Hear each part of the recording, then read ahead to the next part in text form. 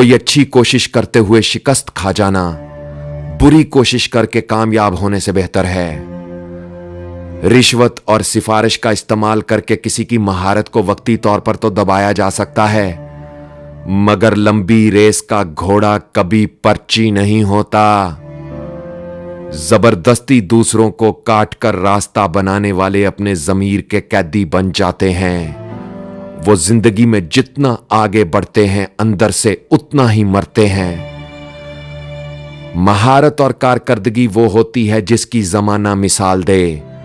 जो लोग खुद ही अपने ढोल बजाते रहते हैं, वो सिर्फ़ अपनी फेसबुक की टाइमलाइन और पोस्टिंग में ज़िंदा रहते हैं। लोगों के दिलों में नहीं। अगर तुम दिलों में ज़िंदा रहना चाहते हो तो दिलों से खेलना छोड़ दो। ओहदे और रुतबे में बड़ा होना कोई इतनी भी बड़ी बात नहीं होता, साहब। अगर हकीकत में बड़ा बनना चाहते हो तो दूसरों को कभी छोटा मत समझो। जो ज़िंदगी खुद को बड़ा और दूसरों को छोटा करने में गुजारते हैं, ज़िंदगी एक दिन उन्हें ऐसा गुजारती है कि वो कभी किसी को दिखाई नहीं देते। खास लोगों से ताल्लुक हमेशा सोच समझ कर बनाना, साहब। ये खास लोग जख्म भी ऐसा खास लगाते हैं, तकलीफ़ सीधी जिस्म से रूह तक चली जाती है।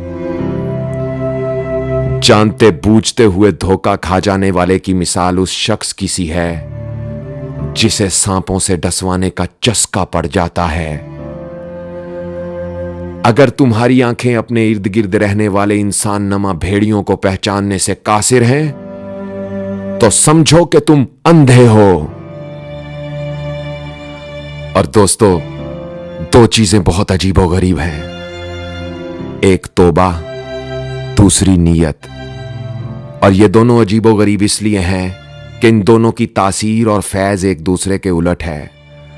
मिसाल के तौर पर नीयत का काम है गैर हाजिर को हाजिर करना। यानी कोई अमल आपने नहीं किया, मगर आपकी नीयत ने उसे हाजिर कर दिया। और तोबा का काम है हाजिर को गैर हाजिर करना। यानी कोई अमल आपने किया मगर फिर सच्ची तोबा ने उसे गैर हाजिर कर दिया। आम थे उसके तो अल्ताफ शहीदी सब पर। तुझसे क्या जिद थी जो तू किसी काबिल होता? अपना बहुत ख्याल रखिएगा और उनका भी, जिनका कोई ख्याल नहीं रखता। अल्लाह हो आप सबका हामी नासिर। अल्लाह हाफिज़।